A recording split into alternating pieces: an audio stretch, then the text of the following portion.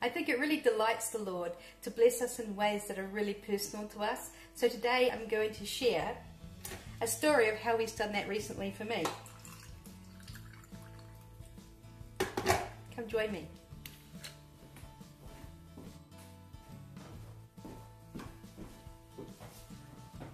Hi, I'm Tania from Drawer Full of Giants, and it's my privilege to inspire, equip, and encourage you in your faith, especially if you're over 35. I want to give you a little backstory. Sophia, my daughter, lent me her car for the entire year last year.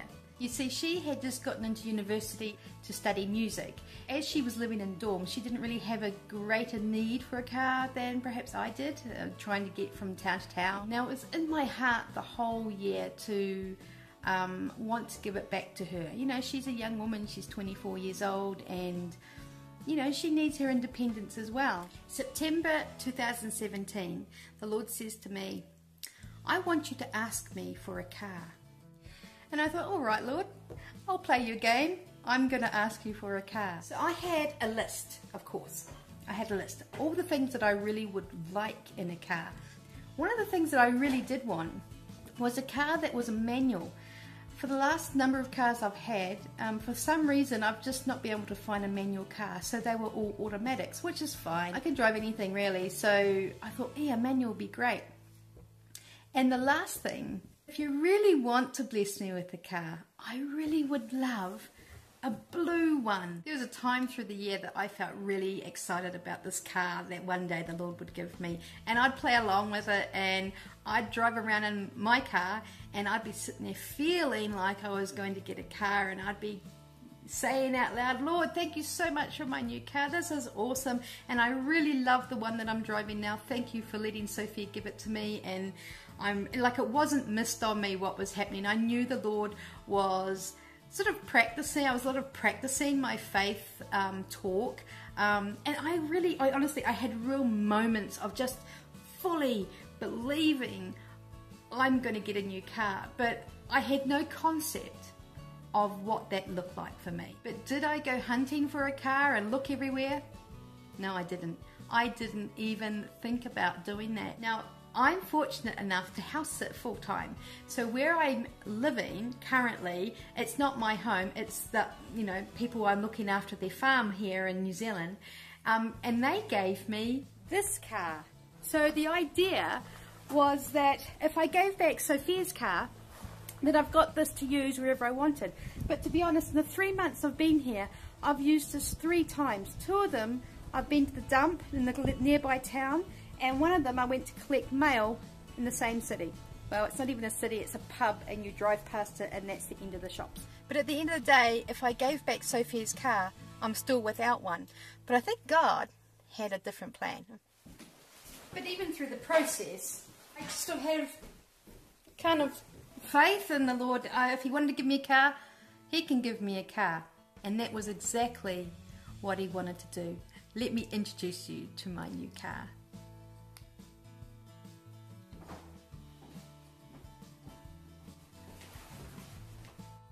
God gave me this.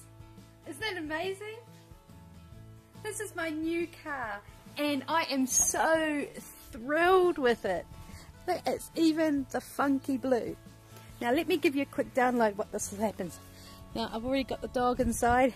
She thinks we're going out for a drive. She's been sitting here for about half an hour, even longer. This here is my gorgeous new little car. I wasn't looking for it, but my dad, who was visiting at the time, he thought it was appropriate that I should have my own car. He came into my room and he said, Tan, I've got a car here that I like to show you. And I hadn't even known he was looking for it. And as soon as I saw it, I thought, ooh, I like that. And it was $1,800 and he said basically, your mother and I will um, loan you the money, it's fine if you would like to have a look at it. Now this car was about four or five hours away from me, I couldn't drive it and there was something wrong with it, it needed to be fixed. So the girl brought it down to $1,400. It looked like it was a really good nick. I was really impressed with all the specs. Um, it was a manual, it is really economical on fuel. It's a compact car, it's about the same size as Sophia's car, so it was really good. And I just went, ooh, I felt this was going to be my car. So I paid the girl some money to go get it fixed.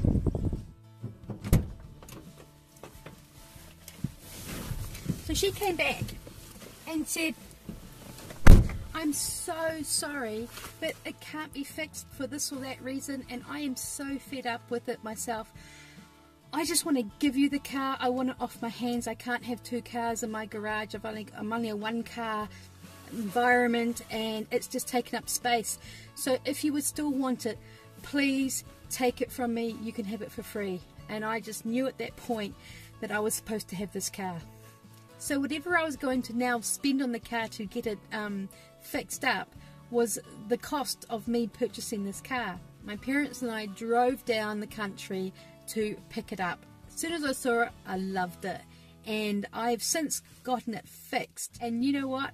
I only paid $600 for everything. It needed the CV joints, it needed two tyres, and it needed a few other bits and pieces. Uh, the bonnet needed to be latched properly, and that was it. That was all this car cost me. Even though my parents are so gracious, and I really, it was a, it was definitely going to be a help. I didn't want them to lend me the money, but I, I felt the Lord would bless me, and He did. And it was one last problem.